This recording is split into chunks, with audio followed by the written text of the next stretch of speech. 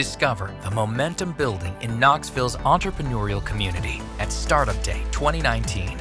Knoxville startups have some world changing ideas, so join us on September 24th at the Mill & Mine, presented by the Innov865 Alliance.